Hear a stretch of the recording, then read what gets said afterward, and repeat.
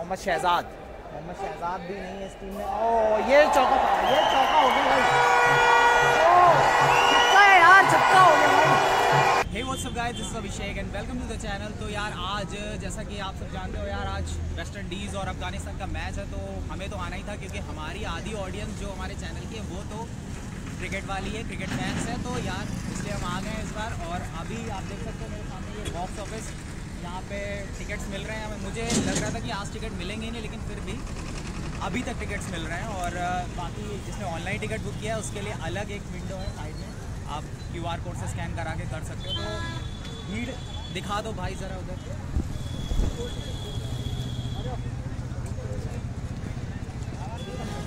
तो भैया यही है और बाकी स्टेडियम आप देख सकते हो। और अभी चलते हैं हम लोग अंदर जल्दी से, क्योंकि सीट्स फुल हो जाएँगी जल्दी तो यहाँ पर ऐसा कुछ नहीं, कोई सीट नंबर नहीं होता। आप जितनी जल्दी जाओगे, उतनी जल्दी आपको अच्छी सीट मिलेगी, अपने मन मुताबिक सीट मिलेगी। तो चलो चलते हैं अंदर और देखते हैं स्टेडियम बोलिए सर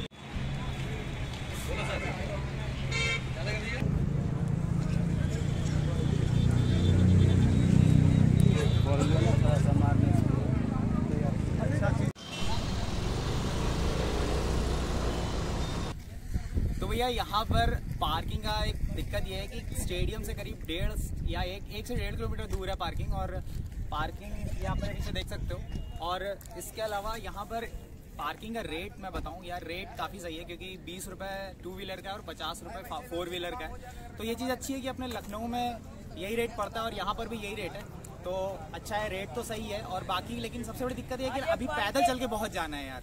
क्योंकि एक से डेढ़ किलोमीटर जाना पड़ेगा। तो भाई ये मेरे पीछे देख रहे हो आप गेट नंबर चार पे भीड़ लगी हुई है और यहीं से मुझे एंट्री करनी है। तो अभी एंट्री तो हो नहीं रही है तो मैं कहा वहाँ खड़े होने का कोई फ़ायदा नहीं है। सब लड़के लोग चिल्ला रहे हैं। हम भी जाएँगे अभी अंदर चिल्लाएँगे लेकिन अभी नहीं। और पीछे देख सकते हो यार, इस स्टैंड पे मतलब वैसे इस मैच में तो भीड़ होनी नहीं थी क्योंकि वनडे है तो वनडे अब लोग देखना कम पसंद करते हैं।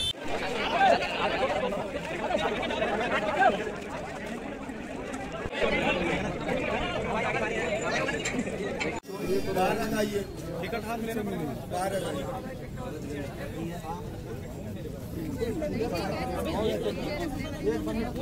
भाई भाई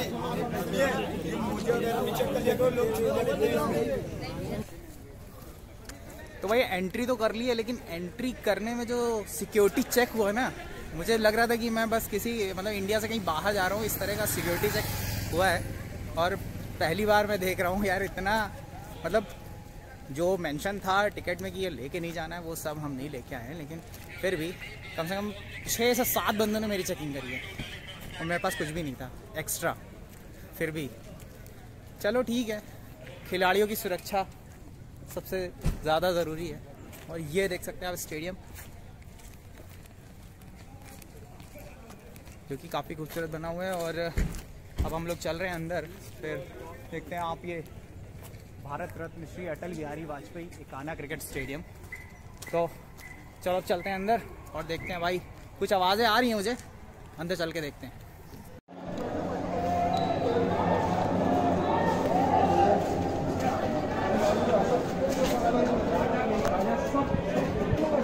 ऊपर बैठ जाओ ऊपर सर एक उधर से जाओ उधर से उधर से ही मिलिए। चलता ना भैया। एक मिनट भाई भैया एक मिनट बस। अरे पीछे हटाऊँ बस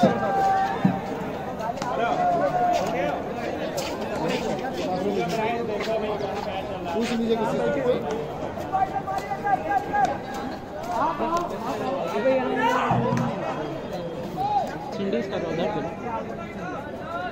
उधर जा नहीं पाओगे।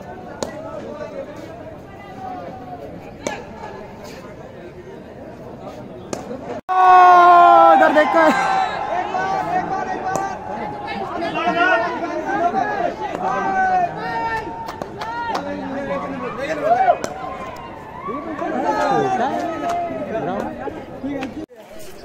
तो भाई फाइनली हम आ गए हैं स्टेडियम के अंदर और ये आप मेरे पीछे देख सकते हो, स्टेडियम और यहाँ पर हो रही है प्रैक्टिस और ये सामने अगर आपको दिख रहा हो ये राशिद भाई और उसके साथ में भी वो मोहम्मद नबी और फ्लड लाइट्स वो स्क्रीन देख सकते हो फ्लड लाइट्स ऊपर हैं जो कि कुछ ऑन है। कुछ बैठो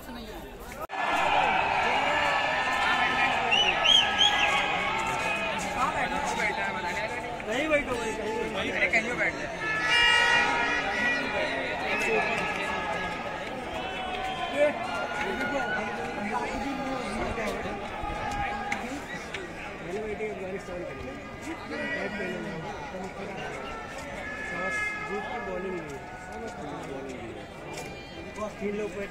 ये आप देख रहे हो लाइनअप होता हुआ।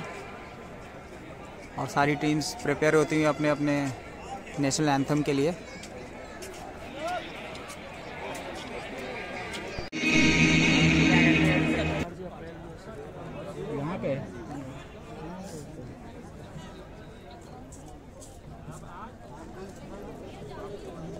साउंड ही नहीं आ रहा। है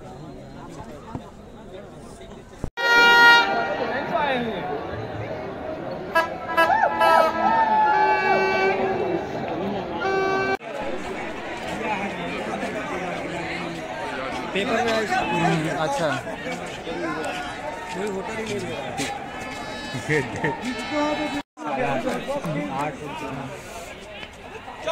चौवा हो गया।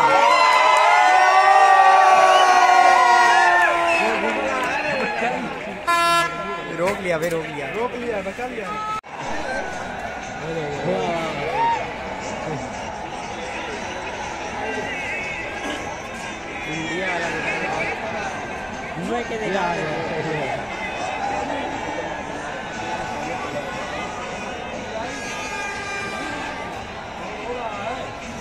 हाँ तो भैया, सबसे ऊपर वाले टॉप फ्लोर पे खड़े हैं और यहाँ से जो व्यू आ रहा है ना, उसकी तो बात ही अलग है। आप देख सकते हो, सामने मैच हो रहा है।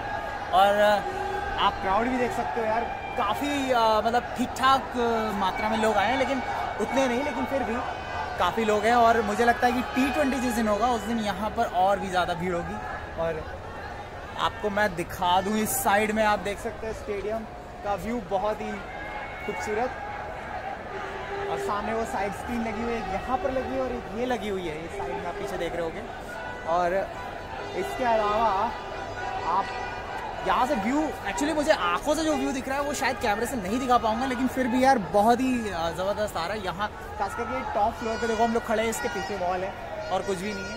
तो स्टेडियम यार बहुत ही खूबसूरत बना हुआ है, और बस यहाँ पर ये है कि थोड़ी सी अभी गंदगी है यहाँ पर, क्योंकि यहाँ कोई बैठता नहीं हो, और पूरा स्टेडियम इतना बड़ा है कि सफ़ाई करने में तो हालत ख़राब हो जाती है भाई, इक्कीस ओवर हो चुके हैं और मुझे लग रहा है 92 रन बन चुके हैं और फ़िलहाल दो ही विकेट गिरे हैं। और यार मैच में यार चौके छक्के नहीं पड़ रहे हैं तो मज़ा नहीं आ रही। एकदम ऐसा लग नहीं रहा कि वेस्ट इंडीज़ खेल रही है, क्योंकि वेस्ट इंडीज़ तो बॉलिंग कर रही है। और अफ़गानिस्तान वाले उतना मारते नहीं हैं। उनके पास प्लेयर नहीं है मतलब जो एम एस क्या नाम है उसका? M S Mohammad Shahzad. Mohammad Shahzad भी नहीं है इस टीम में। ओ ये चौका ये चौका हो गया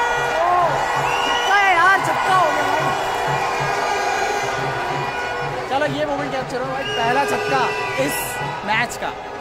तो देखो ढोल बज रहा है पीछे। और ये वाला जो यहाँ पर डगआउट है उनका अफ़गानिस्तान वालों का और उसके जस्ट बगल में वेस्ट इंडीज का है और मार रहे भाई।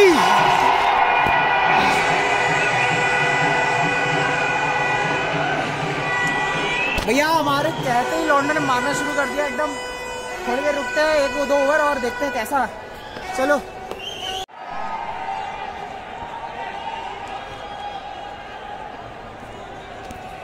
तो भैया, पहला थर्ड अंपायर रिव्यू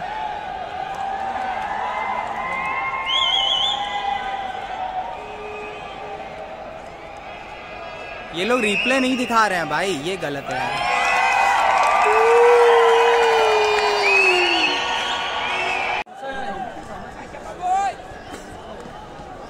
मैच तो अभी कंटिन्यू है और 22 ओवर हो गए और मैं अब निकल रहा हूँ क्योंकि मुझे कुछ काम है।